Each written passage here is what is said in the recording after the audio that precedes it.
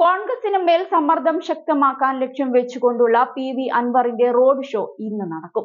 പാലക്കാട് കോട്ട മൈതാനത്ത് നിന്നും വൈകിട്ട് മൂന്നിനാണ് ഷോ ആരംഭിക്കുക. തുടർന്ന് ബസ് സ്റ്റാൻഡിൽ കൺവെൻഷൻ നടത്തും. രണ്ടായിരത്തോളം പേരെ പരിപാടിയിൽ പങ്കെടുപ്പിക്കാനുള്ള ശ്രമമാണ് ഡി എം കെ നടത്തുന്നത്. ഇന്നത്തെ റോഡ് ഷോയിൽ കൂടുതൽ പേരെ അണിനിരത്തി തന്റെ ശക്തി തെളിയിക്കുകയെന്നതാണ് അൻവർ ലക്ഷ്യം വെക്കുന്നത്. സി പി എം കോൺഗ്രസ് നേതാക്കൾ എല്ലാവരും പരിപാടിയിൽ പങ്കെടുക്കുമെന്നും നേതൃത്വം പറയുന്നുണ്ട്. ഡി എം കെയുടെ സ്വാധീനം തെളിയിച്ചാൽ യു ഡി എഫിനോട് കൂടുതൽ ശക്തമായി വിലപേശുകയാണ് അൻവറിന്റെ ഉദ്ദേശം. നേരത്തെ P V Anvar U D എഫിന് മുൻപിൽ ഒരു ഒത്തുതീർപ്പ് ഫോർമുല മുന്നോട്ട് വെച്ചിരുന്നു. പാലക്കാട്ടെ സ്ഥാനാർത്ഥിയായ മിൻഹാജിനെ താൻ പിൻവലിക്കാമെന്നും അങ്ങനെയെങ്കിൽ ചേലക്കര തനിക്ക് നൽകണമെന്നുമാണ് അൻവർ ഉയർത്തിയ ആവശ്യം. ഇത് കോൺഗ്രസ് നേതൃത്വം തള്ളിയിരുന്നു. യു ഡി എഫുമായി വിലപേശാൻ ആരെയും അനുവദിക്കില്ലെന്നായിരുന്നു പ്രതിപക്ഷ നേതാവ് വി ഡി സതീശൻ പ്രതികരിച്ചത്. ചേലക്കര സ്ഥാനാർത്ഥിയെ തങ്ങൾ പിൻവലിക്കണമെന്ന് പറയാൻ മാത്രം അൻവർ ആയിട്ടില്ലെന്നും സതീശൻ തുറന്നടിച്ചിരുന്നു.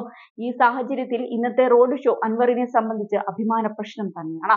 കോൺഗ്രസിന് ശക്തമായ സ്വാധീനമുള്ള പ്രദേശങ്ങളാണ് മാത്തൂരും പിരായിരിയും ഈ മേഖല കേന്ദ്രീകരിച്ചാണ് അൻവറിന്റെ പ്രവർത്തനങ്ങൾ. റോഡ് ഷോയിൽ ഇവിടെ നിന്നുള്ള കോൺഗ്രസ് കുടുംബങ്ങൾ പങ്കെടുത്താൽ അത് കോൺഗ്രസിന് വലിയ തിരിച്ചടിയായിരിക്കും. അൻവർ പ്രതീക്ഷിക്കുന്ന നിലയ്ക്ക് പരിപാടിയിൽ ആളെത്തിയാൽ കോൺഗ്രസിന്റെ നെഞ്ചിടിപ്പ് ഉയരും. ഇതിനോടകം തന്നെ വിമത ശല്യത്തിൽ വലയുകയാണ് പാർട്ടി. അൻവർ കൂടി ഉയർത്തുന്ന വെല്ലുവിളി നേരിടാൻ നിലവിലെ സാഹചര്യത്തിൽ കോൺഗ്രസ് തയ്യാറാകുമോ എന്നാണ് ഉറ്റുനോക്കപ്പെടുന്നത്. അതേസമയം അൻവറിനെ പ്രകോപിപ്പിച്ച് പാലക്കാട് കാര്യങ്ങൾ ബി ജെ പി അനുകൂലമാക്കാനുള്ള ശ്രമമാണ് വി ഡി സതീശൻ ചെയ്യുന്നതെന്നാണ് കോൺഗ്രസ് വിമതനായ എ കെ ഷാനിബ് കഴിഞ്ഞ ദിവസം തുറന്നടിച്ചത്. അനുനയിപ്പിച്ച് ചർച്ച നടത്തുന്നതിനു പകരം ബി ജെ പിയെ ജയിപ്പിക്കാനുള്ള മാർഗങ്ങളാണ് സതീശൻ പരിശോധിക്കുന്നതെന്നും ഷാനിബ് ആരോപിച്ചിരുന്നു. പാലക്കാട് ഉപതിരഞ്ഞെടുപ്പിൽ സ്വതന്ത്ര സ്ഥാനാർത്ഥിയായി മത്സരിക്കുമെന്ന് അദ്ദേഹം പ്രഖ്യാപിച്ചു കഴിഞ്ഞു. തന്റെ സ്ഥാനാർത്ഥിത്വം ബി ജെ പിയെ ജയിപ്പിക്കാനല്ല മറിച്ച് വി ഡി സതീഷിനെയും ഷാഫി പറമ്പിലിനെയും പാഠം പഠിപ്പിക്കാൻ ലക്ഷ്യം വെച്ചുള്ളതാണെന്നാണ് ഷാനിബ് വാർത്താ സമ്മേളനത്തിൽ തുറന്നടിച്ചത്. ഇരു നേതാക്കൾക്കെതിരെയും അതിരൂക്ഷ വിമർശനങ്ങളാണ് ഷാനിബ് ഉന്നയിച്ചത്.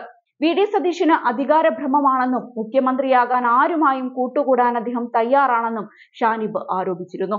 മാത്രമല്ല പാലക്കാട് ബി ജെ പിയെ ജയിപ്പിക്കാനുള്ള പഴുതുകളാണ് വി ഡി സതീശൻ പരിശോധിക്കുന്നതെന്നും ഷാനിബ് കുറ്റപ്പെടുത്തി.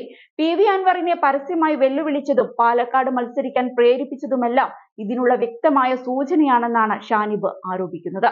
ഷാഫി പറമ്പിലിനെതിരെയും കടുത്ത ആരോപണങ്ങളാണ് ഷാനിബ് ഉയർത്തിയത്. ഷാഫി പറമ്പിൽ യൂത്ത് കോൺഗ്രസ് സംസ്ഥാന അധ്യക്ഷനായി തുടരുമ്പോൾ സംസ്ഥാന സെക്രട്ടറി ആയിരുന്ന വ്യക്തിയാണ് ഷാനിബ്. ആ സമയത്ത് തന്നെ ഒതുക്കാനുള്ള ശ്രമങ്ങൾ ഷാഫി നടത്തിയിട്ടുണ്ട് എന്നായിരുന്നു ഷാനിബിന്റെ ആരോപണം. ഏതായാലും ഷാനിബിന്റെ സ്ഥാനാർത്ഥിത്വം കോൺഗ്രസിന് പാലക്കാട് വലിയ തലവേദനയാണ് സൃഷ്ടിച്ചിരിക്കുന്നത്.